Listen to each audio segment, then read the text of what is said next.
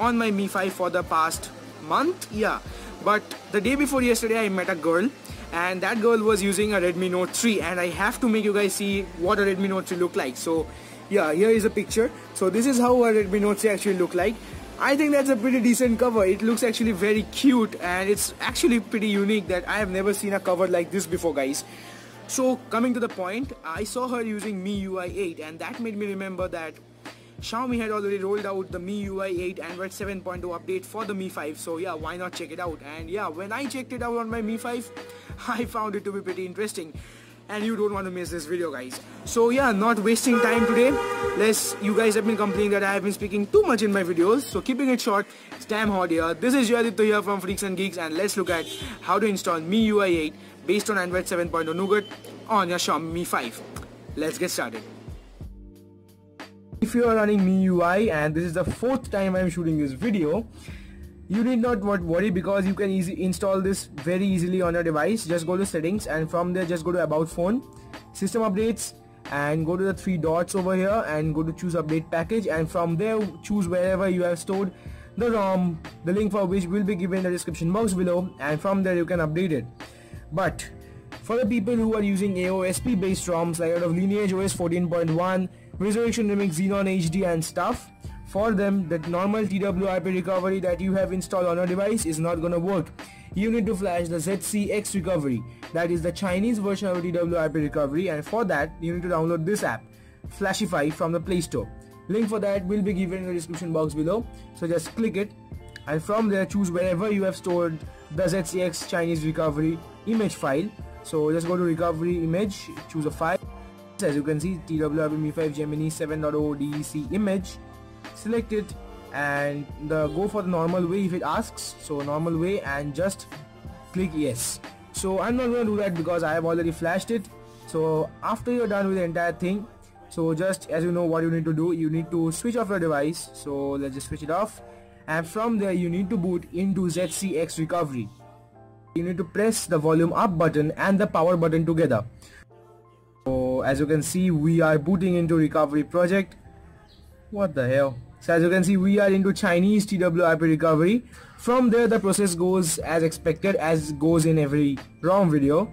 Go to wipe. This is gonna be wipe. Go to advanced wipe Dalvik system data and cache. Do not wipe the Chinese thing. It's the internal storage.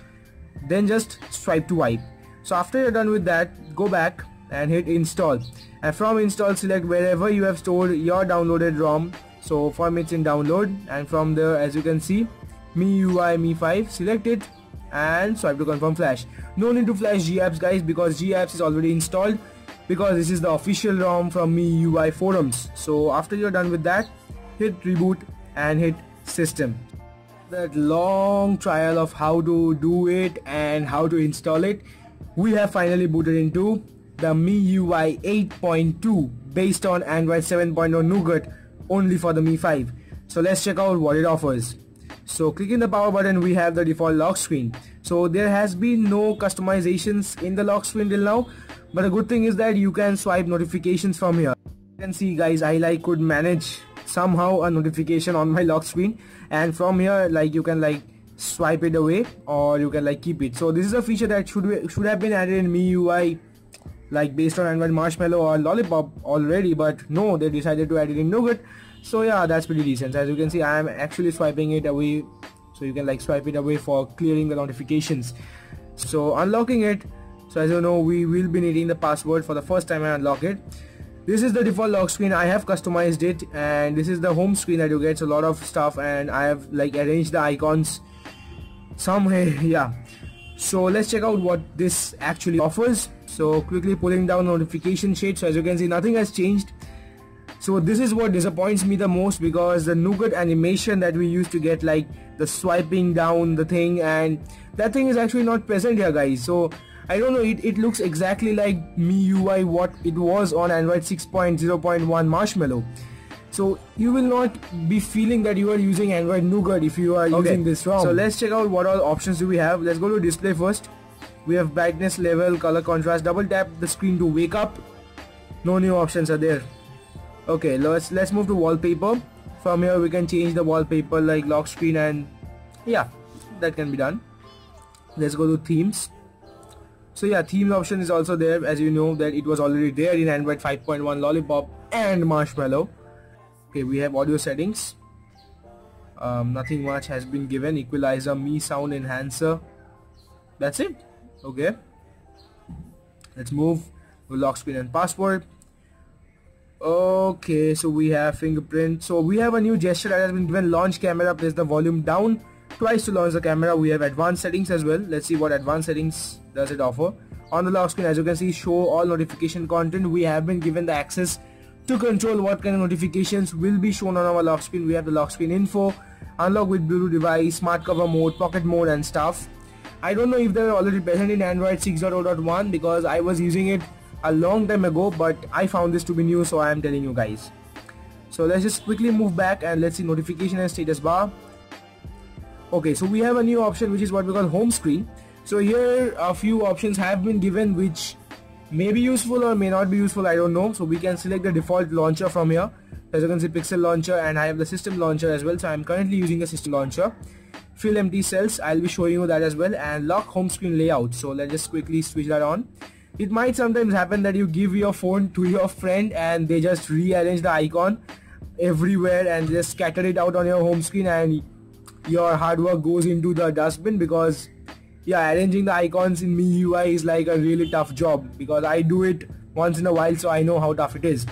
So once you have turned that lock home screen option on so you cannot just move. As you can see home screen layout is locked. You cannot move any app from the space that they are currently assigned in. So thank you Xiaomi for including that because I think that's a very very helpful option guys because yeah to be like as you can see home screen layout is locked. Why I launched Ola? So yeah that's a pretty neat option. And so we just let's just quickly go back to settings. Okay so as you can see fill empty cells. So that is another option. Let's just quickly switch that off. So if we switch that off so what will happen is that if it's office and suppose I want to uninstall it so as you can see I just uninstall that. So what it will happen that this space will not be filled by this icon if you have enabled that option in the settings option as you can see I have fill empty spaces it's switched off so that empty space is not filled by SwiftKey but if that is switched on just quickly so go to settings and if I switch that on so now if I select SwiftKey and if I uninstall it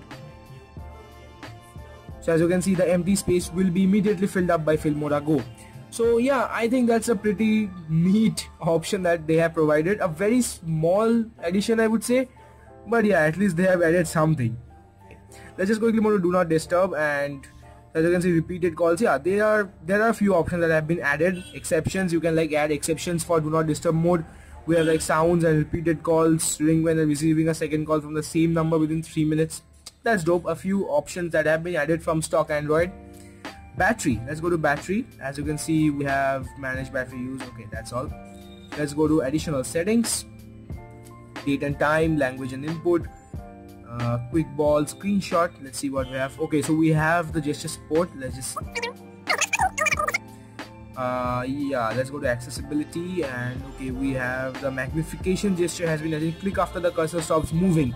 So these are a few I think these are a few options that have been added which you will never ever find in your device if you are really really not looking into your if you are not really digging into your device you will not find these options so as you can see I am like seeing every bit of option that have been provided. So let's see what else do we have. Security app. This is a default system app. So let's see. Okay it looks all the way the same. Second space dual apps deep clean. Okay so we have a new option called automated tasks. So let's see. So here you can select like different tasks that will happen on in your phone from a specific time that you specify. For but yeah i am really disappointed with xiaomi because they didn't really provide any android nougat features on the miui 8 which is based on android nougat so back in the settings and let's look at about phones as you can see android 7.0 nougat miui 8.2 stable that is the india version so let's quickly hit on that so as you can see we have Android Nougat and let's quickly see do we have the Easter egg or not. What the hell? Complete action. So let's check on this. It shows you the kitten icon. Outstanding. let's quickly do one more thing and let's click on this. Oh my god. Are you seeing this guys? I think xiaomi have really messed things up because we are given the android marshmallow flappy game. Are you kidding me right now? No no no. That's not possible. We are using android 7.0 nougat and they're giving us the android flappy bird game. Okay so i'm really bad at this thing.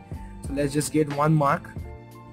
So the device has become faster compared to android marshmallow definitely because the speed comes with as updates go on right? So that's the basic thing about updates. So yeah the device is performing pretty well. Than it used to perform on MIUI 8 based on Marshmallow. So if you guys can want you can just go ahead and right away install it so again see you in my so outro. What do you think? Do you think that Xiaomi should have added more Android 7.0 Nougat features on this update of MIUI 8.2? Because yeah, this MIUI 8.2 doesn't even look like it's running on Android Nougat as far as I have checked out. Because we have a Marshmallow Flappy game in a Nougat Easter egg Second, we don't even have the scroll down the notification shade animation in MIUI 8.2 and yeah I don't even think that they're gonna add the 3D touch when they're gonna roll out the Android 7.1.1 update for the Mi 5 on a MIUI 8 of course so yeah I hope that this video was helpful to you if this was do give this video a huge thumbs up subscribe to my channel for more such content on the Mi 5 the Redmi Note 3 the UU4 and more such apps and mods and tweaks and stuff that's gonna come in the near future. Stay tuned because my next video is also gonna come out very soon. Until you see my next video, stay a freak and stay a geek. Until next time, peace.